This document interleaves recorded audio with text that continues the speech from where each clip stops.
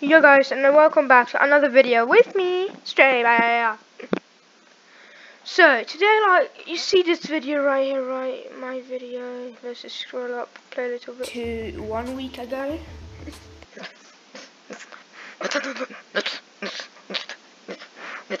yeah, my tics have gotten worse, but yeah, so this is exposing a YouTuber, not even really a YouTuber, but a guy that commented on my video. Look, okay now.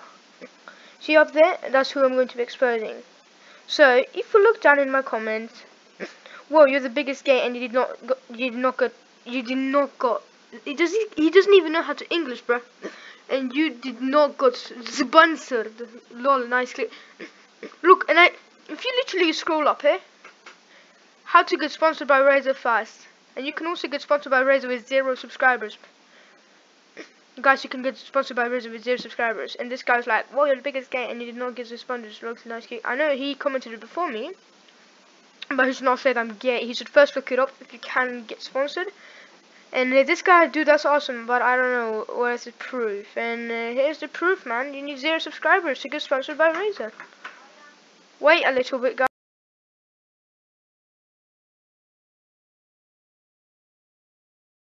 Um, okay guys, so so if you look at his channel, okay, this this is what I mean. Look at all the gaming thumbs down. Look at his channel. 79 subscribers, right? But this is the thing.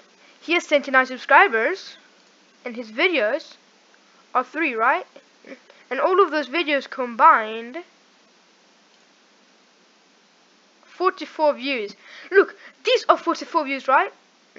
And this is freaking 79 that cannot be true because you cannot get that many subscribers with this list of views. Like look 79